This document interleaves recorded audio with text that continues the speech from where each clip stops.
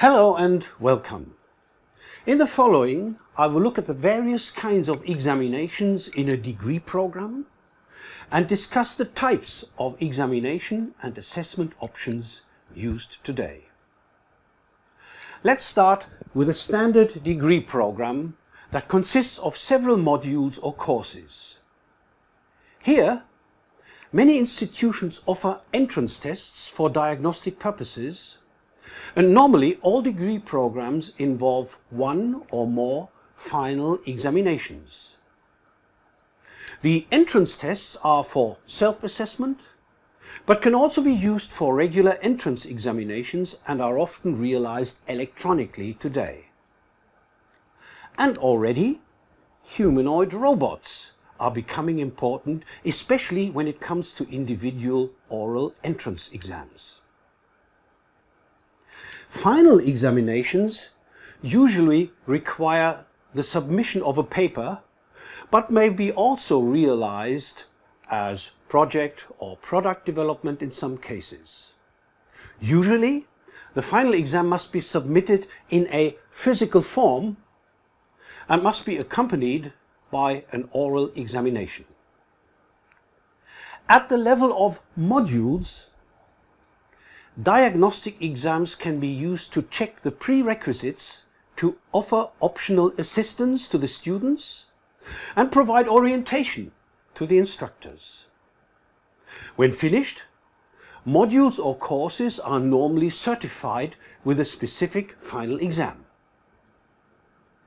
More precisely, the diagnostic exam, which is usually optional and typically offered electronically, checks the student's previous knowledge and, if necessary, gives them advice for refreshing their knowledge. The final exam, on the other hand, is used to certify the mastery of a module and can be offered in various forms, aiming at verifying the competencies and skills acquired in the module. And one more thing, final examinations should also include the aspect of teamwork. Because in a modern world, teamwork is more in demand than ever before. But let's return to the module again. In the learning units of a course or module, for example Unit 3, there are further assessment options from diagnostic to summative. Sometimes in classical formats, but due to various new possibilities increasingly in electronic formats. And the aim of all these tests is to test knowledge. Especially in digital teaching formats such as the inverted classroom, it must be clear that contents offered in the learning units has sunk in.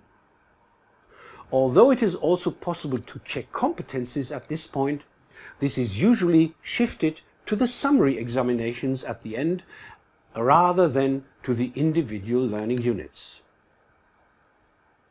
Let's summarize.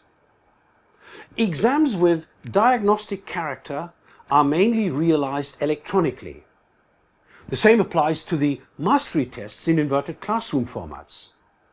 Final exams, on the other hand, are still mainly pen and paper exams. But for many years now, we have been showing that electronic examinations that do no longer test knowledge, but competencies are also possible. And one thing will happen in the not so distant future. The partial takeover of exams by robots, as we have already been testing within our HEART project. Digitization is definitely making its way into the examination system.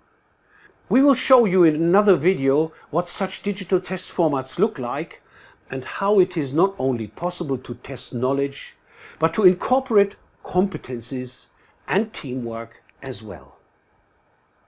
Until then, thanks for your attention and see you soon.